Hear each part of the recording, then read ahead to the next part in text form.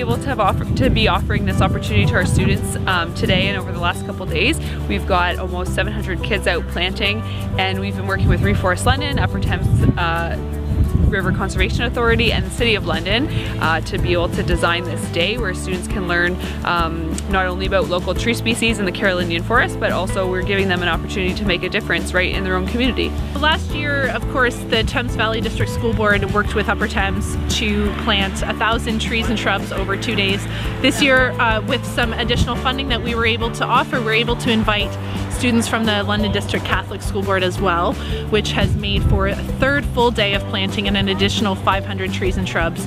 Again, such a big impact and we're really excited to welcome more students on board and hopefully next year do even more. So our role here is to assist younger students in planting trees. It's, um, it's a really good experience. They really just want to help out and you know work hard and they're real troopers and just they're they're really happy. They're like half of them don't even need help. Like they just want to do it themselves. It's great.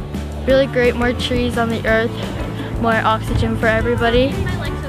It's been really fun planting trees and helping the environment. And yeah, I'm really surprised how how much effort people put in in, in planting them. Wow, it's a, it's a great opportunity for all our kids to be involved in tree planting and being involved with the environment. There's so many things that we need to do and can do.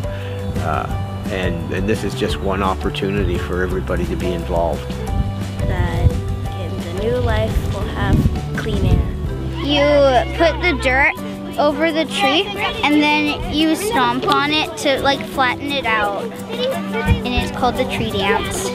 And you like that? Yeah. Great. Um, the best part of my day was like planting trees. I saw a lot of people planted at least like around seven trees. Yeah, that's Which is pretty much a lot. Yeah. yeah, that's a lot of number, right?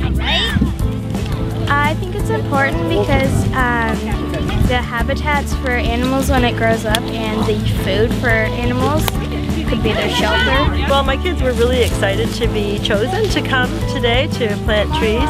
Our school has been working hard on a lot of uh, initiatives to be eco-friendly and to help the environment. Well, um, what's important about doing this project here today is so we could like help the environment and get lots of fresh air from it.